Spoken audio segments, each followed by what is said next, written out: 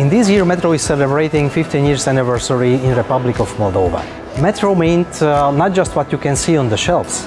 We have more than 600 uh, employees who is working daily base with passion to fulfill the needs of our customers. For 15 years we were investing a lot to provide as a qualitative high assortment uh, for the success of our customers with fair prices and deliver them as the highest shopping experience as possible. We are also socially responsible.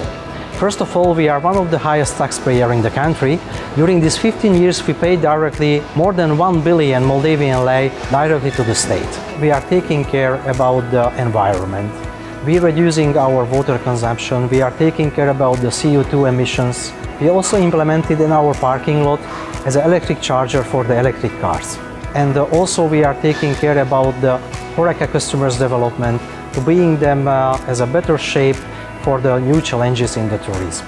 More than one and a half million of Moldavian citizens visited us as customers, which is a huge success for us. We are grateful to our clients and we would like to say many thanks for them because without them we cannot writing further the success story of Metro Moldova in the future. At our anniversary we would like to award Day Loyalty. We prepared special offers, special prices for this event. We want to emphasize our sustainable strategy and offer electric car as an anniversary prize.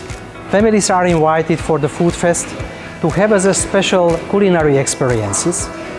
And the 8th of October we are celebrating to the small independent businesses. And the best is yet to come.